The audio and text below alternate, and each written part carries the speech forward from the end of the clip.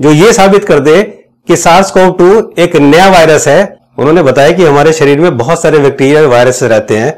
उनमें H one N one उनमें swine flu उनमें जीका उनमें काफ़ी सारे वायरस हैं। उन्होंने बताया कि अगर हमारे आसपास के एक करोड़ लोगों में एच वन एन वन का टेस्ट कराया जाए तो उसमें से 10 से 13 लाख लोगों में H one N one test positive आएगा। दोस्तों, हमारे देश में हर साल 1.5 लाख लोग निमोनिया से मरते हैं। लेकिन आज तक आपको पता चला?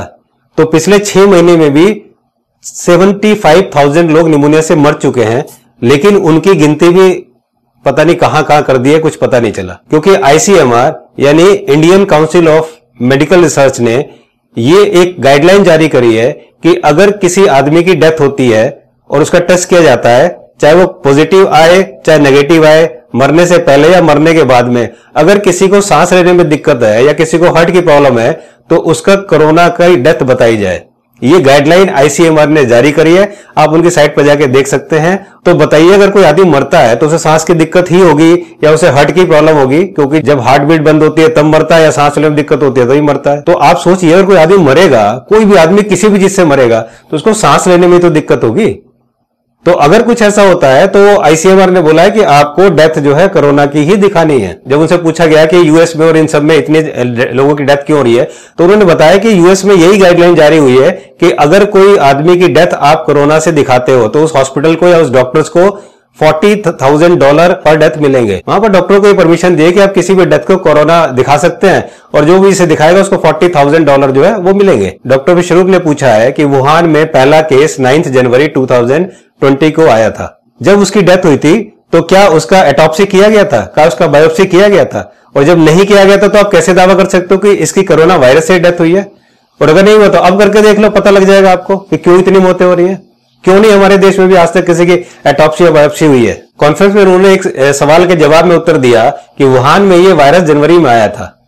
वुहान में ये वायरस जब आया था, वुहान से 1175 किलोमीटर दूर जो है, बीजिंग है। लेकिन वो वहाँ से बीजिंग नहीं पहुँच पाया और वो इतने पूरे वर्ल्ड में फैल गया। और आज देखिए, चाइना ने सब कुछ अपना मैन्युफैक्चरिंग कर रही है चाइना सब काम कर रही है और उसके बारे में कोई पूछ ही नहीं रहा। और सारे देश अपनी अर्थव्यवस्था को लेकर पड़े हैं, सारे देश में मरने लग रहे हैं। उन्होंने बताया, वियतनाम जहाँ पर डॉक्टर विश्वरूप का सेंटर है, वहाँ पर कोई रूल नहीं है कि आप मास्क लगाएँ या ना लगाएँ। और कमाल की बात है कि वहाँ की जो पॉपुलेशन है वो 15 टू 16 करोड़ है, उसके बावजूद ही वहाँ पर एक भी डेथ नहीं हुई है। और एक और देश उन्होंने बताया, तंजानिया। वहाँ पर तो अगर आप मास्क लगाते हैं तो आपको जुर्माना लगेगा। जी हाँ अगर आपने मास्क लगाया तो जुर्माना लगेगा। और एक हमारा देश है, महान भारत, कि अगर हमने मास्क नहीं लगाया तो पुलिस डंडे मार मार के लोगों का पिछवाड़ा सुझा देती है। उनसे क्वेश्चन पूछा गया कि आप जो बोल रहे हो, क्या वही सही है? और पूरे भारत के डॉक्टर जो है, वो क्या पागल है? उनको नहीं पता कुछ भी। वो क्यों नहीं बोल रहे हैं? या वो क्यों इसको मान रहे हैं?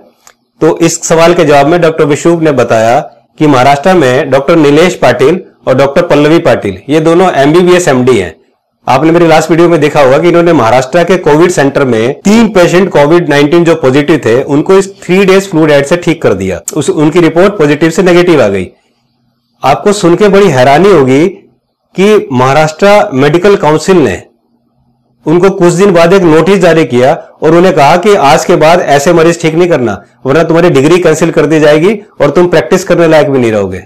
तो बताइए ऐसे में जब डॉक्टरों को ऐसे धमकाया जाएगा तो कौन डॉक्टर आगे आएगा कौन बोलेगा और कौन इस तरह से इलाज करेगा? अब आप अब, अब आप सोचना शुरू कर दिए दोस्तों कि ये देश कहाँ जा रहा है और कितनी बड़ी साजिश हो रही है कि जो doctor three days flu diet से किसी चीज़ को ठीक कर रहा है उसको धमकाया जा रहा है उसकी डिग्री कैंसिल करने की बात की जा रही है।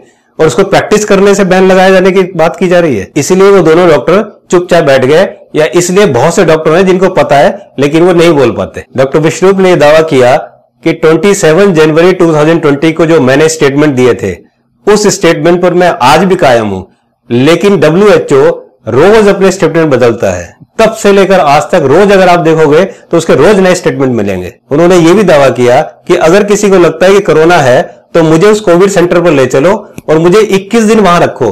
मैं मास्क भी नहीं लगाऊँगा 21 दिन तक उनके साथ रहूँगा।